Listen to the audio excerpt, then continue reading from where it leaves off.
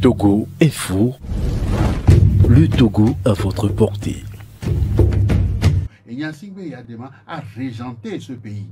Il n'a pas gouverné. Il a régenté ce pays avec l'aide de quelques éléments hein, qui ont fait croire à ce pays à qu'il est le miraculé de Sarakawa, de ceci, de cela et tout. Et ils avaient établi en son nom et lui-même, il m'a dit, lui-même, c'est pas derrière, il m'a dit que je sais même pas pourquoi il m'appelle le père de la nation euh, de Sarakawa, que je suis un miraculé et tout. Je sais même pas comment. Parce que euh, son, son accident à Sarakawa, on nous a dit que c'était euh, suite à sa volonté de vouloir nationaliser la CTMB effectivement, il a nationalisé la CTMB. Et ils ont dit qu'ils ont fait un... Il est, à la suite de ça, il a fait l'accident et il a failli mourir, il n'était pas mort.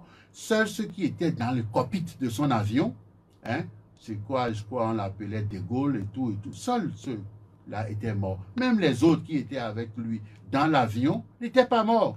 Il y avait Kounale Eklo, il y avait Kotivi, clé et les autres, hein, les Bari Moussaba. Et tous, ils étaient dans cet avion. Ils n'étaient pas morts. Mais on nous a fabriqué le miraculé de Sarakawa pour établir sur la terre de nos aïeux cette dictature, cette tyrannie qui, pendant des années, hein, a, empêché des Togolais d'être libres, de vivre heureux, d'avoir hein, la jouissance des biens de ce pays et tout. Donc, une minorité d'ajouteurs, de fripons s'en est accaparée et a fabriqué ici la dictature. C'est à la suite de cet avion et de cet accident de Sarakawa et tout. Alors, si on a subi tout ça, on a vécu tout ça, et on est là,